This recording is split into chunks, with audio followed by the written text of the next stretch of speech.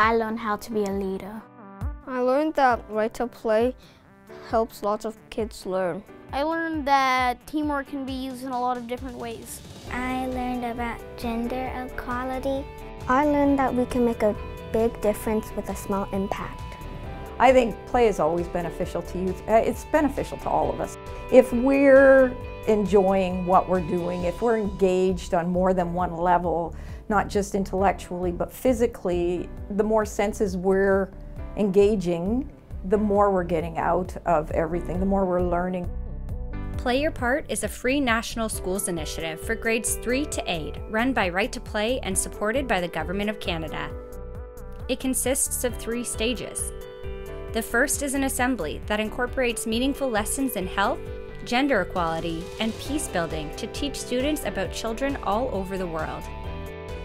Then, the workshop is where students experience right to play games for themselves. At the end of every game, students do a reflection piece where they learn the value of the game and how it makes a powerful impact in communities around the world.